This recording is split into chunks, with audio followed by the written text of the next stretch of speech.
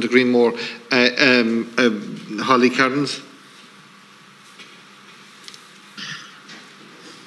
Thank you, Chair. Um, I have a question for each group, if that's okay, and I will be quick and it's okay to take all the questions together, I don't mind.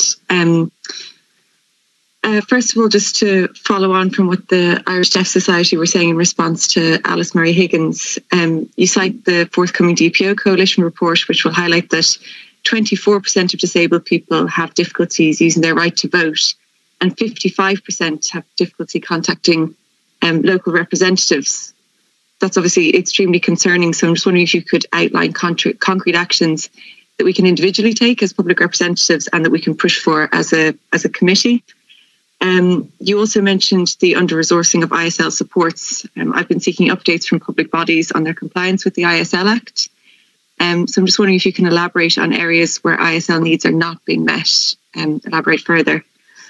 Um, and for the National Platform of Self Advocates, um, thank you, Joe, for your opening statement and for taking a stance on participation in all forms of decision making.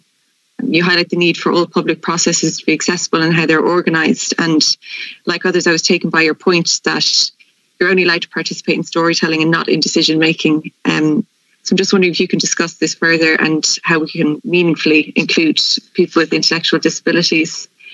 Um, and then for for Leap, for for Deirdre and Rachel, um, thanks for your contribution and working to highlight the vital role that that families play. Um, your points in increasing employment rates among people with intellectual disabilities is incredibly important. Um, you mentioned examples um, internationally, and you know there's the the project Rise in in the US, um, I wonder if you could expand on what was involved in that project um, and the types of structures or programs that we could put in place here. Um, as one of your recommendations, you also mentioned the importance of creating inclusive neighbourhoods. So I'm just wondering if you could outline kind of the real significance of this and how we can foster these types of supportive communities. Um, you also just, I'm curious, you talked about the optimal age um, for employment um, being 13 years. I'm just wondering if you could elaborate on the reason for that particular age out of curiosity. Thank you. To Holly's points and to Emer's points and the outstanding point that Sean made. So uh, maybe will we start with Joe?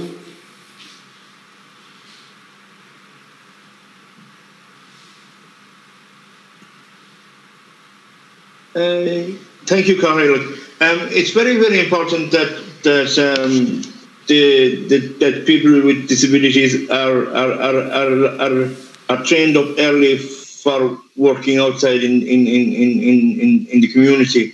And I think uh, for um, employability care and such an organisations like them, they are very, very important. And I think maybe they should be linked. To, they should go in and talk to schools about the service they provide for people that's leaving school and to have, have them start at a young age.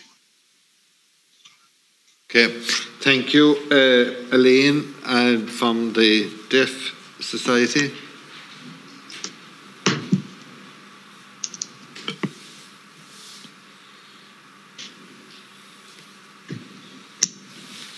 I'd like to respond to Holly's question in how we can improve government in the next 12 months core fund, what can the government do to help things improve? We need core funding provided to the Irish Deaf Society in order for us to carry out research around deaf people's lived experience.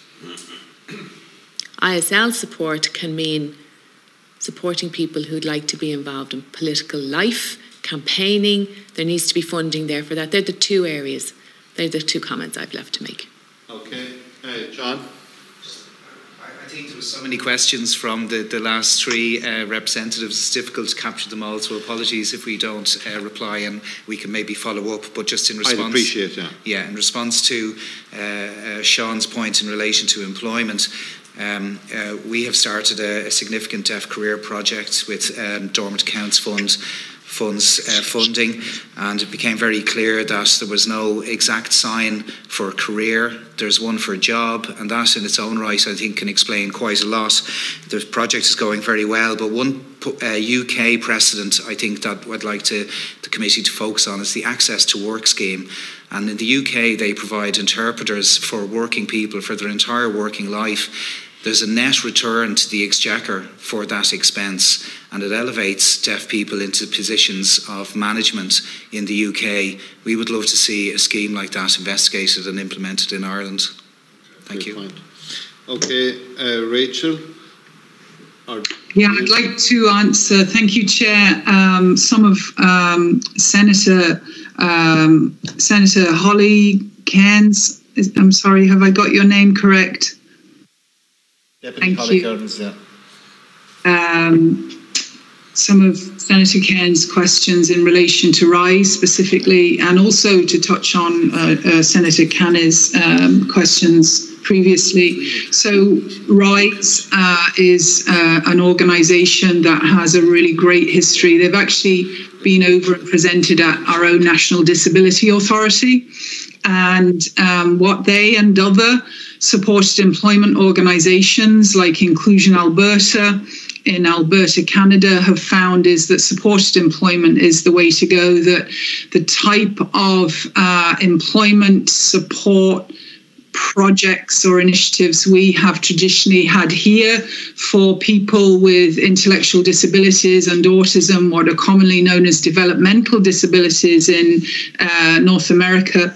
Um, don't necessarily provide the right types of support uh, on the job. So, supported employment can assist an employer, for example, to um, look at a job that isn't already being done in an organization and to create a new job that doesn't exist. Maybe they might go into a plant or a factory or a warehouse and see that there's a particular task that isn't being done and that they would kind of carve a new role for a person to go in and take on. Obviously, for uh, full payment uh, with full uh, terms and conditions provided. So we mentioned RISE. We also want to mention Inclusion Alberta, who LEAP has um, taken families. We've we've done st- study tours around the world and we've taken families to um, countries and, and organizations that are doing really extraordinary work actually towards the full inclusion of people with disabilities.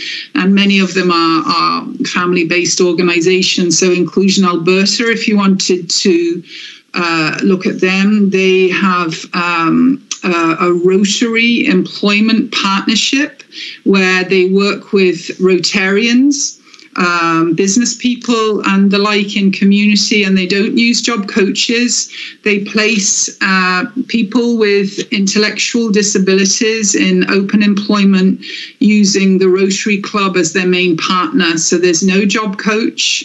Um, there is support provided by an inclusion facilitator but there's no job coach. It's extraordinarily successful. So they leverage the support of the community and the business partners in community to place people in jobs. And the, the workers are, as we know, extremely loyal, uh, extremely good at timekeeping. Um, and we've, when I say as we know, I mean LEAP has spent time. We've been to Alberta, I think, three occasions at this stage, and we've spent time uh, with these projects, with these initiatives to really learn what is best in employment practice for people with intellectual disability. Why age 13? Um, that is the typical, the normative age that most of us, all of us probably on this call, got our part time job, first part time job. I know I had mine when I was 11, all those years ago back in England. I had a paper round.